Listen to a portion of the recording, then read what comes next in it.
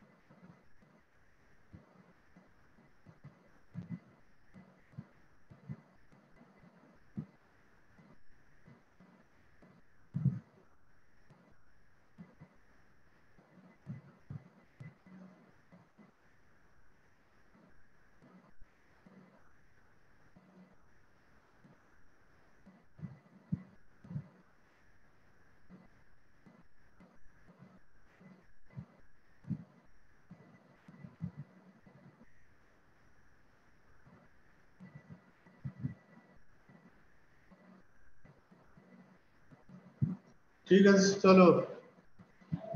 কি? বলে, দু মিনিট চুপ করে বসে থাকো, খুব কষ্ট করে না? আচ্ছা আমরা আজকে এই মনঃসংযম নিয়ে আলোচনা করব। কোনো ঘটনা বলতে পারবে? মনঃসংযম নিয়ে আলোচনা? মনকে হচ্ছে গিয়ে শান্ত করব কেন? কেন হচ্ছে মনকে আমরা আমরা একটু ধ্যান ট্যান করার চেষ্টা করি কেন? এটা কি করার প্রয়োজন আছে? বা কোনো গল্প বা উদাহরণ দিতে পারবে মনঃসংযমের?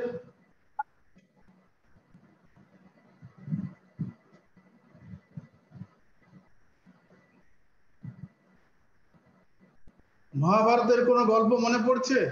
মহাভারত মহাভারত দেখেছ?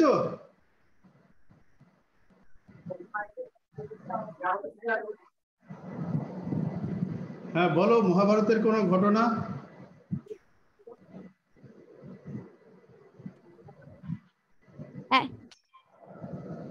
একবার একটা একবার একটা শামুক ছিল তো যখন সবাই কথা বলতো, তখন সে চুপচাপ থাকতো।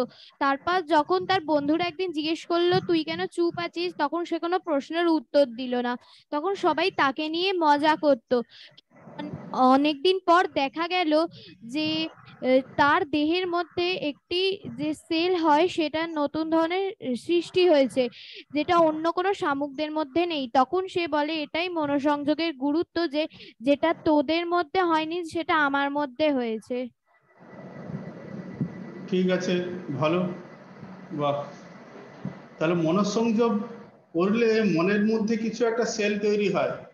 সেই সেলটা কি? এছাড়া আরও কিছু গল্প, মহাভারতে আরও কিছু ঘটনা? অর্জুনের কোন ঘটনা? অর্জুন?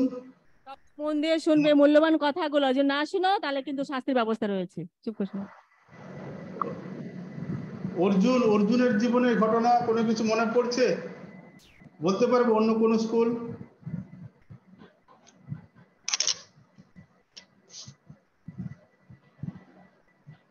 এই দ্রোণাচার্যের কাছে অস্ত্রবিদ্যা শেখার জন্য কৌরব আর পাণ্ডবদের পাণ্ডব বংশে যারা দুর্যোধন, যুধিষ্ঠির, তারপর অর্জুনের পাঁচ ভাই সবাই মিলে সেই গুরুগৃহে বাস করেছিল। সেই ঘটনা মনে আছে? গুরুগৃহে বাস? না, জানো না। ঠিক আছে, আমি বলছি। তা দ্রোণাচার্য তখন আগেকার দিনে কি ছিল? শিক্ষা লাভের এখন যেমন কি শিক্ষা লাভের জন্য আমরা স্কুল, কলেজে যাই, তখন তো আর এরকম ইউনিভার্সিটি ছিল না। তখন ছোটবেলায় কি হতো? গুরুগৃহে গিয়ে বিদ্যা শিক্ষা লাভ করতে হতো আগেকার দিনে। সে তুমি রাজার ছেলেই হোক বা হচ্ছে তুমি বৈশ্যের ছেলে হোক বা যে কোনো ফ্যামিলি থেকে কি করতে হতো? ছোটবেলা থেকে গুরুগৃহে থাকতে হবে এবং গুরুগৃহে গিয়ে বিভিন্ন রকম ধরনের বেদ, পাঠ বা অস্ত্র শিক্ষা প্রত্যেক বিভিন্ন রকম ধরনের শিক্ষার ব্যবস্থা ছিল। তা অর্জুন আর কৌ- এরা যুধিষ্ঠির, এরা তো রাজবংশের ছেলে। সেই জন্য ক্ষত্রিয় বংশের জন্য তাদের জন্য কি হলো? অস্ত্র শিক্ষার ব্যবস্থা ছিল। তা অস্ত্র শিক্ষা দেওয়ার পর মানে কতটা হচ্ছে কি অস্ত্র শিক্ষা কার মানে কতটা অর্জন করেছে সেটা পরীক্ষা করার জন্য দ্রোণাচার্য কি করেছেন একদিন যে একটা গাছে, একটা অনেক উপরে গাছে একটা ডালে ছোট্ট একটা হচ্ছে পাখি, প্লাস্টিকের বা কিছু একটা হয়তো মাটির পাখি, প্লাস্টিক হয়তো তখনকার দিনে নেই। মাটির পাখিকে একটা গাছের ডালে হচ্ছে কি ঝুলিয়ে দেয়। তারপরে এক এক করে প্রথমে যুধি যুধিষ্ঠিরকে ডাকে যে আচ্ছা তুমি হচ্ছে ওই তীর ধনুক লাগিয়ে ওই পাখিটার প্রতি হচ্ছে দৃষ্টি নিবদ্ধ করো। তারপরে কিন্তু তীর ছুড়বে না, দ্রোণাচার্য। তারপর জিজ্ঞাসা করছে, তুমি কি দেখতে পাচ্ছ? তখন যুধিষ্ঠির বলছে যে, আমি গাছপালা দেখতে পাচ্ছি পাতা দেখছি, আকাশ দেখছি, অনেক কিছুই দেখছি। তখন বলছে, ঠিক আছে, ছেড়ে দাও। এরপরে আবার দুর্যোধনকে ডেকে বলছে যে আচ্ছা তুমি ওই পাখিটার দিকে দৃষ্টি নিবদ্ধ করো এবং মানে তীর তীর ধনুক নিয়ে তুমি ওর প্রতি দৃষ্টি মানে এক দৃষ্টি হচ্ছে, দৃষ্টি তুমি নিবদ্ধ করো। আর তারপর তাকে জিজ্ঞাসা করছে, তুমি কি দেখতে পাচ্ছ এখন? পাখি পাখি ছাড়া কিছু দেখতে পাচ্ছ? বলছে হ্যাঁ পাখি ছাড়া আমি গাছের ফল দেখছি। আরও দেখছি কয়েকটা পাখি হচ্ছে কি বসে আছে, একটা ডালে দেখছি, একটা পাখি বাসা বেঁধেছে, বলছে ঠিক আছে ছেড়ে দাও। এরকম করে এক এক করে সবাইয়ের দৃষ্টি মানে কার কতটা হচ্ছে কনসেন্ট্রেশন আছে, কার কতটা মনঃসংযোগ আছে, পরীক্ষা করার জন্য এরকম, তারপরে কি অর্জুনকে ডেকেছে। অর্জুন ছিল দ্রোণাচার্যের প্রিয় শিষ্য, তো অর্জুনকে বলছি, তুমি হচ্ছে ওই তীর ধনুক নিয়ে ওই পাখিটার প্রতি যে দৃষ্টি হচ্ছে, নিবদ্ধ করো। তারপর তাকে জিজ্ঞাসা করছে যে, তুমি কি দেখছ? অর্জুনকে দ্রোণাচার্য জিজ্ঞাসা করছেন। যে, তুমি কি দেখতে পাচ্ছ? পাখি তো দেখছ, পাখি ছাড়া আর কি দেখছ? বলছে, না গুরু মশাই শুধু পাখিকে দেখছি, আর কিছু দেখতে পাচ্ছি না। আর কোনো গাছের ডালপালা বা হচ্ছে আকাশ কিছু দেখছে না। বলছে, ঠিক আছে, তুমি আরও কিছু করে হচ্ছে দৃষ্টিটাকে নিবদ্ধ করো। তুমি কি দেখতে পাচ্ছ এখন? বলছে আমি পাখির মাথাটাকে দেখতে পাচ্ছি। তারপর বলছে, আরও হচ্ছে কি অনেকক্ষণ ধরে তুমি মানে দৃষ্টিটাকে স্থির করো বলছে এখন তুমি কি দেখছ? না বলছে আমি পাখির শুধু চোখটাকে দেখতে পাচ্ছি। তখন দ্রোণাচার্য বলছেন ঠিক আছে। মানে তার মাথায় তখন হাত রাখলেন। যে কেন? এই দেখো ছোট্ট ঘটনা ধারা যে মনঃসংযোগ মানে কতটা হচ্ছে কি হাত তুলছো কি কারও কিছু প্রশ্ন আছে? আর কারও কিছু প্রশ্ন আছে হাত তুলছো তোমরা?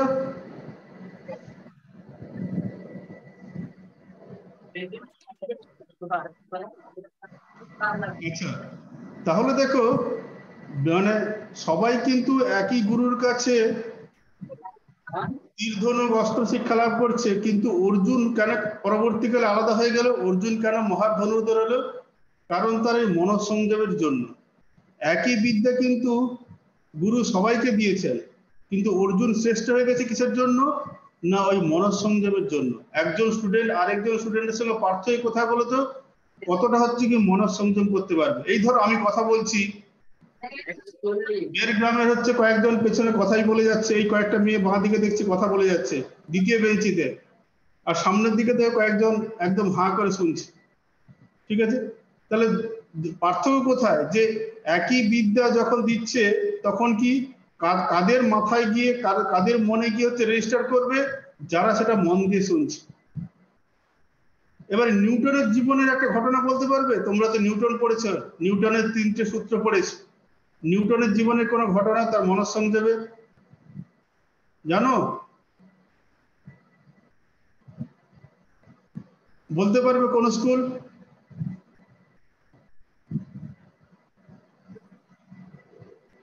শ্রীরামপুর।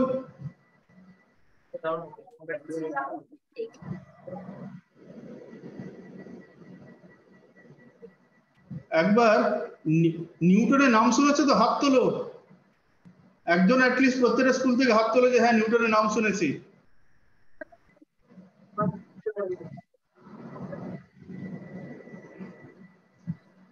বাহ, ঠিক আছে। আচ্ছা শিবপুর, এস এস পিএস বিদ্যালয়ের ভিডিও টু সেখান থেকে, ও, স্যার স্যার বোনে দাঁড়িয়ে কিছু ভিডিও সেটিং করছেন নাকি? ঠিক আছে। ঠিক আছে ঠিক আছে, আমি ঘটনাটা বলছি। তার নিউটন তো তার নিজের বিজ্ঞান চর্চায় এত মগ্ন থাকতো, একদিন কি হয়েছে যে খিদে পেয়েছে? তা কি করতে চাইছেন যে এক খিদে পেয়েছে, চট করে করলেন কি? যে ডিম সিদ্ধ করে খাওয়া যায়। তা নিউটন কি করছে? একটা ওভেন জ্বালিয়েছেন, ওভেন স্টোভ জ্বালানোর, স্টোভ প্রথমে জ্বালালেন। স্টোভের উপরে একটা মানে কিছু সসপেন বা কিছু ধরনের রাখার পর তাতে জল দিলেন। জল দেওয়ার পর তারপর কি করে ডিমটাকে নিয়েছেন। যে ডিমটাকে নেওয়ার পর বলছে যে বেশি সময় দেখা, দেওয়া যাবে না। পাঁচ মিনিটের মধ্যে ডিম সেদ্ধ হয়ে যায়। তখন কি করলেন? এক হাতে ঘড়ি আর এক হাতে ডিম দিলেন। তারপরে করেছেন কি? কিছুক্ষণ বাদে পাঁচ মিনিট দাঁড়িয়ে আছেন। অন্য বিজ্ঞানের যে মানে রিসার্চের কথা ভাবছেন। ভাবতে ভাবতে হঠাৎ পাঁচ মিনিট বাদে তার মনে হলো তো অনেকক্ষণ তো হয়ে গেছে, এবারে ডিমটা হচ্ছে কি নামিয়ে নি তা ডিম নামাতে গিয়ে দেখেন না, ঘড়ি হাতে তো ঘড়ি ছিল, ঘড়িটা গিয়ে দেখেন যে হাতে হচ্ছে ডিমটা আছে, আর ঘড়িটা কোথায় বলো তো, হাত ঘড়িটা, সেটা ওই জলের মধ্যে হচ্ছে কি সেদ্ধ হচ্ছে। তাহলে দেখো মানে এতটাই হচ্ছে কি তার পড়াশোনার বা তার কাজের মধ্যে মানে মনোনিমগ্ন করে ফেলেছেন যে কোনটা সেদ্ধ করতে গিয়ে ডিম সেদ্ধ না করে ঘড়িটাই সেদ্ধ করে ফেলেছে। তো এই ঘটনা শুনেছো তো? নাকি? তা এইরকম কারোর হয় যে পড়া ধরো জামা কাপড় পরে আছো হঠাৎ হচ্ছে কি স্কুল যেতে হবে মনে হলো যে স্কুল যে স্কুল যাওয়ার জন্য স্নান করতে গিয়ে পুকুরে গিয়ে জামা কাপড় নিয়ে স্নানে স্নান করে ফেলেছো। এরকম হয়েছে কারোর জীবনে? হয়েছে কারোর? কারোর জীবনে? হ্যাঁ? আমার আমার আমার দেখা আমার এক বন্ধুর হয়েছে।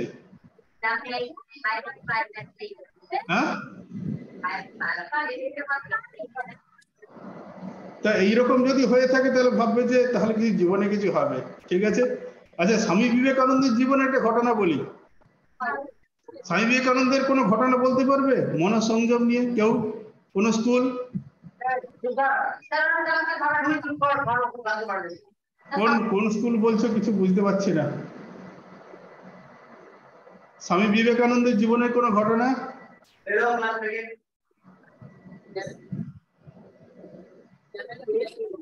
স্বামীজি বিদেশ যাওয়ার আমেরিকাতে যাওয়ার আগে সারা ভারত পরিভ্রমণ করেছিলেন।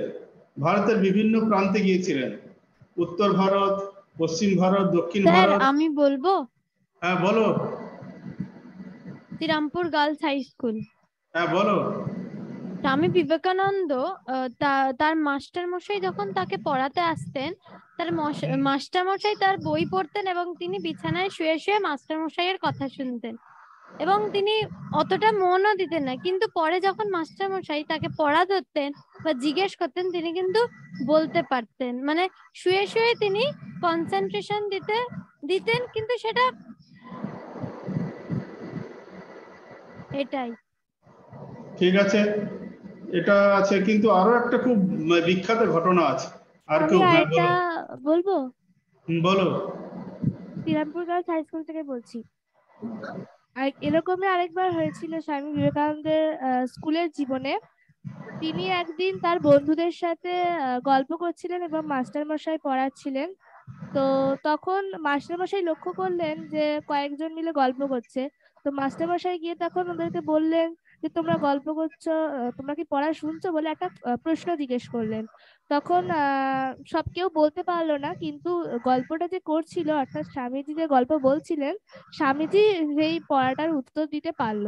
তখন মাস্টারমশাই স্বামীজিকে শুধু বসিয়ে বাকি সবাইকে দাঁড় করালেন। কিন্তু তখন স্বামীজি বললেন যে স্বামীজি নিজেও দাঁড়িয়ে থাকলেন। তখন যখন শিক্ষক মহাশয় বললেন যে, তুমি কেন দাঁড়িয়ে আছো?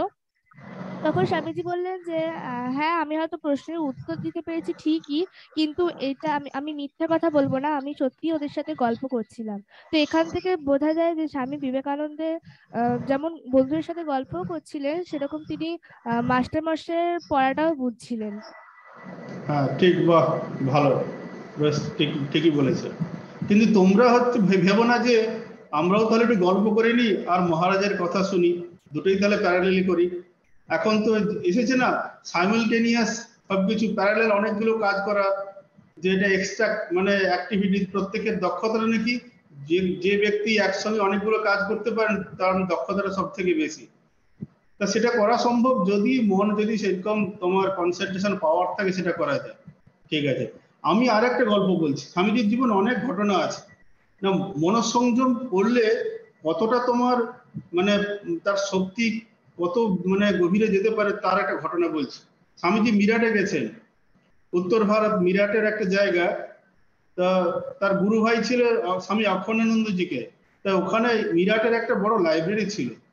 তো স্বামীজি তার গুরু ভাই অক্ষণানন্দ স্বামীকে বলছেন, যা তুই লাইব্রেরি থেকে একটা জন লুবার বলে একজন ব্রিটিশ ম্যাথামেটিশিয়ান, পলিটিশিয়ান, ফিলান্থ্রপিস্ট, এরকম একজন ছিলেন। তিনি অনেক বই লিখেছেন জীবনে, প্রচুর বই লিখেছেন। মানে প্রত্যেকটা বছরে একটা করে তিনি হচ্ছে বই পাবলিশ করতেন। তার অনেক বই ওই মিরাটের লাইব্রেরিতে ছিল। স্বামীজি বলেন, তুই একটা ভলিউম অনেকগুলো ভলিউম ছিল তো একটা ভলিউম তুলে নিয়ে আয়। তা স্বামী অখণ্ডানন্দজি মহারাজ তুলে নিয়ে আলেন স্বামীজি একদিন পড়লেন পরে পরের দিন বললেন, তুই এটা ফেরত দিয়ে নেক্সট ভলিউমটা নিয়ে আয়, দ্বিতীয় ভলিউম তা আবার স্বামী অক্ষানন্দজি মহারাজ দ্বিতীয় ভলিউমটা নিয়ে এলেন। স্বামীজি আবার পড়লেন, আবার পরের দিন বইটা বইটা ফেরত দিয়ে আরেকটা ভলিউম নিয়ে এরকম দিন পাঁচ ছয় চলছে। তা একদিন লাইব্রেরিয়ান স্বামী অক্ষানন্দজিকে বলছেন, বলছে, আপনি যে প্রত্যেক দিন এক একটা ভলিউম নিয়ে যান, পরের দিন ফেরত দিয়ে যান আপনি কি পড়েন? তখন স্বামী অক্ষানন্দ বলছে যে, আমি পড়ি না, আমার এক হচ্ছে গিয়ে ভাই আছে গুরু ভ্রাতা আছে, স্বামী বিবেকানন্দ স্বামীজি, তিনি হচ্ছে কি পড়েন। বলছি আচ্ছা তিনি কি হচ্ছে কি শুধু ওই লোক দেখানোর জন্য প্রত্যেকদিন একটা করে বই নিয়ে যান আর বই ফেরত দেন? তখন অক্ষানন্দ মহারাজের মনে হলো, না, উনি তো হচ্ছে বই পড়েন।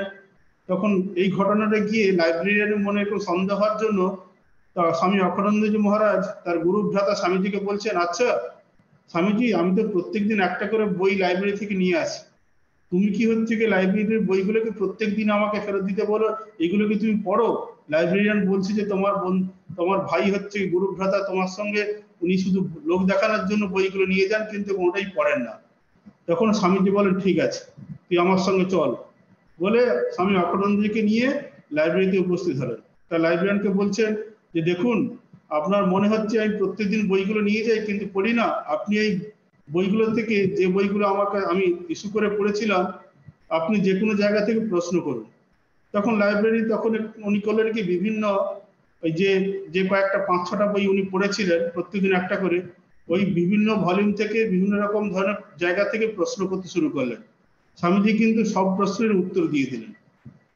তখন সেই লোকটা অবাক হয়ে গেল, বলে, এটা কি করে সম্ভব?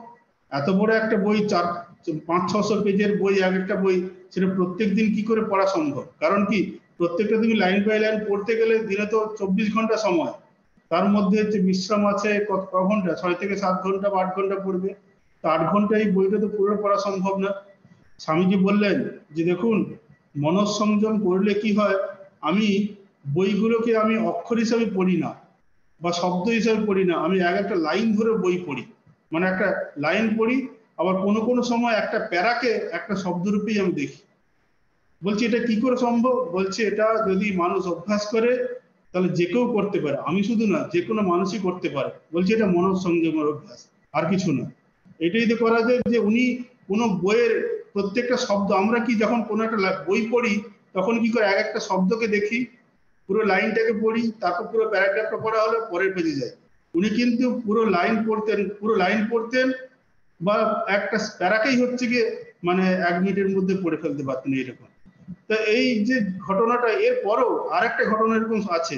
স্বামীজি তখন বেলুন মঠে আছেন, বিখ্যাত হয়ে গেছেন, আমেরিকা থেকে ফিরেছেন। আমেরিকা থেকে বিখ্যাত হয়ে গেছেন, জগৎ বিখ্যাত হয়ে ফিরেছেন। তা বেলুন মঠ তখন এই হাওড়াতে বেলুন মঠ মানে স্থাপিত হয়েছে এবং বেলুর মঠের লাইব্রেরিতে পঁচিশটা ভলিউম ছিল কি কিনা এনসাইক্লোপিডিয়া ব্রিটানিকা তোমরা জানো তো এনসাইক্লোপিডিয়া ব্রিটানিকার অনেকগুলো ভলিউম এখন তো অনেক ভলিউম হয়ে গেছে। আগে ছিল পঁচিশটা ভলিউম তো এরকম লাইব্রেরিতে বই রাখা আছে। একজন ভক্ত শরৎচন্দ্র চক্রবর্তী। উনি স্বামীজিকে বলছেন যে আচ্ছা স্বামীজি, এই পঁচিশটা ভলিউম কি কোনো মানুষের জীবনে পড়া সম্ভব? স্বামীজি বলছে, কেন? আমার তো দশটা ভলিউম অলরেডি পড়া হয়ে গেছে। বলছি, কি বলেন মশাই? আপনি দশটা ভলিউম পড়েছে? হ্যাঁ পড়ে ফেলেছি। বলছি, তুই যেখান থেকে প্রশ্ন করে, আমি বলে দেবো। তখন শরৎচন্দ্র চক্রবর্তী বই থেকে নিয়ে এই এই দশটা ভলিউম থেকে বিভিন্ন জায়গা থেকে তিনি প্রশ্ন করতে শুরু করলেন। স্বামীজি সব উত্তর দিয়ে দিলেন। বলছে যে, এটা কোনো ব্যাপারই নয়। বলছে যে কোনো মানুষই করতে পারে। এইরকম হলো হচ্ছে কি মানে মনঃসংযোগ। মনঃসংযোগ কেন করতে বলেছে? মনঃসংযোগ যদি করো, তোমার কি হবে? অনেকগুলো এফেক্ট আছে। কেন মনকে সংযম করতে বলে? বললে কি হয়? তার অনেক উপায় আছে। আর ভ্যালু এডুকেশন ক্লাসের মূল ইয়ে কি হলো না, এই মনকে কীভাবে সংযম করব? কীভাবে হচ্ছে কি মনকে সংযম করা যায়? তো মনকে দেখো, মন, মনের স্বাভাবিক গতি দেখো কি? না চঞ্চল ভাবে থাকা। দেখো না, অনেকে বসে থাকলে দেখবে, অনেককে বসতে বলো, বসার পর কি করবে? পাটাকে নাড়াচ্ছে ঘাটটাকে নাড়াচ্ছে। তারপরে কেউ হচ্ছে কি সামনে যদি একটা পেপার ওয়েট থাকে, সেইটা ধরে নাড়াবে। তারপরে কিছু না থাকলে একটা খাতা পেন যদি থাকে, খাতা যদি খোলা থাকে পেনটাকে নিয়ে ড্রয়িং করছে। তার মানে বোঝা, এর থেকে বোঝা যায় যে, এর থেকে তার মনটাকে সংযম করার ক্ষমতা নেই। পাশে বন্ধুটা কি করছে, দেখছে, তার সঙ্গে দুটো কথা বলে নিল। তার মানে কি মনকে সে দু মিনিটের জন্য সংযম করতে পারছে না। তার মানে কি মনের গতি হলো কি না ছুটে বেড়াবে এটাই হচ্ছে কি মনের স্বাভাবিক গতি। এবারে বলো, সেই গতিশীল মনকে কীভাবে একটা বিষয়ে লাগিয়ে রাখবে? লাগাতে তো হবে নাকি? কোন একটা জিনিসে কি করে লাগাবে? জলের গতি কি? জলের গতি কি? উপর থেকে নিচে নামাতো নাকি? জলকে ধরো তুমি একটা ট্যাঙ্কে যদি থাকে, একটা পাইপ যদি থাকে, তাহলে কি জল কি উপর থেকে নিচে পড়বে? এটাই তো জলের গতি, যে উঁচু জায়গা থেকে নিচু জায়গায় যাওয়া। তো মনেরও স্বাভাবিক গতি কি? না হচ্ছে গিয়ে ছুটে বাড়ানো। একটা জিনিসে বেশিক্ষণ মন থাকতে চায় না। কিন্তু মন কিন্তু আবার অনেক বিষয়ে আটকে থাকে। কোথায় থাকে বলো তো? মন কোন বিষয়ে বেশ মজে থাকে? কখন মজে থাকে মন? মন যখন কোনো সহজ জিনিস পায়, তখন দেখবে আর সেটাকে ছাড়তে চায় না। এখন যদি বলি ক্লাসের পড়া চল্লিশ মিনিট শুনতে পারবে না, কিন্তু যদি বলে একটা ভালো সিনেমা চালিয়ে দেওয়া হবে, হিন্দি সিনেমা যদি চালিয়ে দেওয়া হবে নাকি বা বাংলা সিনেমা চালিয়ে দেওয়া হবে, সঙ্গে সঙ্গে কিন্তু সমাধি হয়ে যাবে। সব একদম পিন্ড অফ সাইলেন্স। বা কোনো কার্টুন যদি চালিয়ে দেওয়া হয়, সঙ্গে সঙ্গে দেখবে হচ্ছে মন শান্ত হয়ে গেছে। তার মানে দেখো, প্রত্যেকের কিন্তু মনসংযম করার শক্তি ক্ষমতা আছে। এইটা হচ্ছে কি মেনে নাও। যে মন যেমন হচ্ছে গতিশীল আবার মনকে সংযম করার কিন্তু যে ক্লাসে ফার্স্ট হচ্ছে, তারও যেমন ক্ষমতা আছে, যে ক্লাসে হচ্ছে কি ফেল করে যাচ্ছে লাস্ট লাস্ট বয় বা লাস্ট গার্ল তারও কিন্তু মনকে সংযম করার শক্তি আছে। কিন্তু কোথায় না ওই খেলাধুলোতে, সিনেমাতে, আড্ডাতে, মজাতে জোকসে এই যেগুলোতে সঙ্গে সঙ্গে মন অ্যাটাচ হয়ে যাবে। কেন হবে? কেন হয়? কারণ কি? ওখানে আনন্দ পাওয়া যায়। বলে না, আনন্দ পাওয়া যায় বলেই তো। পড়াশোনা করে ভালো লাগে না, আনন্দ নেই। কিন্তু যদি পড়াশোনাতে যদি আনন্দ পেয়ে যাও, তখন কি করবে? মন কিন্তু পড়াশোনাই করতে চাইবে। কিন্তু প্রথমে হবে না, কারণ কি মনের স্বাভাবিক কি যে মন হচ্ছে কি যে কোনো জিনিস সহজ যেটা যেটা কোনোতে পরিশ্রম করা করতে হয় না, সেইটা করতে চাইবে। কঠিন জিনিস কখনোই করতে চাইবে না। সেই জন্য করতে হবে কি, মনকে প্রথমে জোর করে হচ্ছে লাগাতে হবে। যেমন জলের গতি কি উপর থেকে নিচে জলে নামছে। কিন্তু তাহলে জলকে উপরে তুলবে কি করে? বাড়িতে ট্যাঙ্ক আছে না? এখনকার দিনে বাড়ি, বাড়িতে ট্যাঙ্ক তোমাদের ফ্ল্যাট ফ্ল্যাটে থাকো বা যারা দেখে বড় মাল্টি স্টোরের বিল্ডিং এ, উপর থেকে হচ্ছে গিয়ে ট্যাঙ্কে জল কীভাবে তোলা হয়? নিচে বাড়ির, যখন বাড়িতে ছাদের ট্যাঙ্ক থাকে না জলের ট্যাঙ্ক সেই ট্যাঙ্কের জলটাই কীভাবে তোলে? জল, জলের গতি তো হচ্ছে উপর থেকে নিচে নামা। তা পাইপ দিয়ে উপরে তুলছে কীভাবে? জলকে কীভাবে তোলা হয়? কীভাবে তোলো? জান, সেটাও জানো না? টুলু পাম্প ব্যবহার হয় তো নাকি? না অটোমেটিক্যালি জল হচ্ছে নিচ থেকে চলে যায় উপরে। কিছু পাম্প করা হয় তো নাকি? টুলু পাম্প বা কিছু একটা প্রেসার থাকে। সেই প্রেসার দিয়ে কি করে? জলকে হচ্ছে নিচ থেকে উপরে তোলা হয়। ধরো তুমি সিঁড়ি দিয়ে নামছো। একটা বল হচ্ছে গিয়ে বলটাকে নিয়ে জাগলিং করতে করতে তুমি নামছো। কোনো কারণে ধরো বলটা তোমার হাত থেকে পড়ে গেল। তাহলে কি করবে? বলটা কোন দিকে? সিঁড়ি দিয়ে গড়িয়ে গড়িয়ে ড্রপ খেতে খেতে নিচের দিকে নামতে থাকবে। বলটাকে উপরের দিকে উঠবে? উঠবে না। কারণ কি? ওই বলটা তুমি যদি একবার ছেড়ে দাও, ওর স্বাভাবিক গতি কি? নিচের দিকে যাওয়া। তা তোমাকে কি করতে হবে? সেরকম মনের গতি কি? ওই সহজ জিনিস যেগুলো করতে ভালো লাগে না মানে মানে পড়তে ভালো লাগে না, কিন্তু খেলতে বললে সঙ্গে সঙ্গে ছুটে চলে যাবে। গল্প করতে, সিনেমা দেখতে, মোবাইল, ইউটিউব, এখন তো মোবাইল আছে তো নাকি? সবাই, কার কার কাছে মোবাইল আছে? সবাই হাত তোলো। মোবাইল আছে কার কাছে? ওরে বাবা, সবাইয়ের কাছে এখন মোবাইল, ঠিক আছে? তা মোবাইলে এখন ইউটিউবে সঙ্গে সঙ্গে মন চলে যাবে, তখন সমাধি হয়ে যাবে। এক ঘণ্টা পর যদি বলে দু তিন ঘণ্টা তখন কোথেকে কেটে যাবে। কারণ কি? মনের কোনো পরিশ্রম নেই, কোনো কিছু করতে হচ্ছে না। আনন্দে হচ্ছে কি মোবাইল দেখছ। তাহলে সেই মনকে পড়াশোনায় লাগাতে গেলে কি করতে হবে? ওই টেনে তুলতে হবে পাম দিতে হবে প্রেশার দিতে হবে। প্রেশার না দিলে কিন্তু হবে না। ঠিক আছে? তাহলে মনকে হচ্ছে কি প্রথমে সংযম করতে গেলে করতে হবে কি যে কিছু জিনিস থেকে আমাকে সাময়িকভাবে দূরে থাকতে হবে। প্রথম একটা কাজ ঠিক আছে? একটা আগে সপ্তাহে আমি একটা টাস্ক দিয়েছিলাম। কি টাস্ক দিয়েছিলাম? কিছু দিয়েছিলাম টাস্ক আগের সপ্তাহে কিছু একটা বলেছিলাম, করতে বলেছিলাম। করেছিলে? কেউ করেছ? একজন কেউ প্র্যাকটিস করেছ? হাত তোলো। করেছ? আর, আরে না না, যারা করনি তারা হাত তুলছে কেন? এই, যারা যারা করেছ তারাই হাত তোলো। ঠিক আছে ঠিক আছে না হাত দাও আচ্ছা শিবপুর তো করেছে। শ্রীরামপুরে কেউ করেছ হাত তোলো। বাহ, ঠিক আছে। আচ্ছা ঠিক আছে, দেখা যাচ্ছে। তারপরে নীলপীঠ রামকৃষ্ণ বিদ্যা ভবনে কেউ কিছু করেছ? বলেছিলাম। আগের সপ্তাহে একটা ছোট্ট কাজ দিয়েছিলাম, যে এক সপ্তাহ ধরে একটু প্র্যাকটিস যদি করতে পারো। করেছ করনি। ঠিক আছে। আচ্ছা এই সপ্তাহে একটা দিচ্ছি। কি করবে? আচ্ছা অনেক সময় পড়তে পড়তে কি যখন ধরো হচ্ছে তুমি অঙ্ক করছ আচ্ছা পড়তে পড়তে গান শোনো? কতজন গান শোনো? হাত তোলো। আরে আরে বাবা, বিশাল অনেক। ঠিক আছে। পড়তে পড়তে গান শোনো তো। আমি বলছি, কোনো একটা সময় দিনে এক ঘণ্টা যখন পড়ছো, পড়ার সময় হচ্ছে গিয়ে গানটা চালিও না। ঠিক আছে? সারা, সারাদিন তো ধরো হচ্ছে তুমি তিন চার ঘণ্টা পড়ছো তার মধ্যে গান চলছে। আমি বলব কি, এক সপ্তাহ প্র্যাকটিস করো যে কোনো একটা সময় যখন তুমি পড়ছো, এক ঘণ্টা বেশি নয়, পারবে না। আমি যদি এখনই বলি যে গান গান চালানো বন্ধ করে দাও, পড়ার সময়, সেটা পারবে না। এক ঘণ্টা করবে কি? গান ছাড়া পড়াশোনা কর। এক ঘণ্টা, এক সপ্তাহ প্র্যাকটিস বাকি সময় করো, ঠিক আছে? যদি বলি এক সপ্তাহ পুরো গান ছাড়াই হচ্ছে, পড়াশোনা করো, এখনই বললে পারব না। মাথা কাজ করবে না। অথবা এক ঘণ্টা প্র্যাকটিস করো যে কোনো সময়। ঠিক আছে? এটা ঠিক করে নাও। যে দুটো কাজ আমি একসঙ্গে করব না। আমরা ভাবি যে মনকে হচ্ছে কি দুটো কাজ, গান চললে পড়াশোনা হবে, হয় না।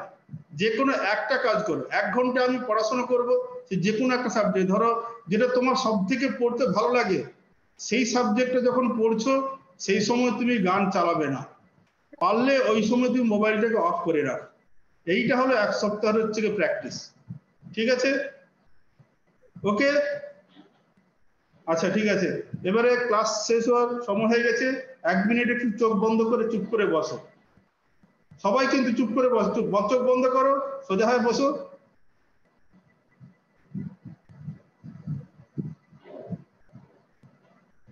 আমাকে চোখ খুলে থাকতে হবে, দেখছি। তোমরা হচ্ছে কি চোখ চোখ খুলে আছে কেন? তা আমি চোখ বন্ধ করে থাকলে তোমরা কেউ চোখ বন্ধ করবে না। তো আমাকে দেখছি চোখ খুলে রাখতে হবে। এই চোখ খুলে আছে কোনো? সামনে বসে আছো। বের গ্রামে চোখ বন্ধ করো, চুপ করে বসো এক মিনিট।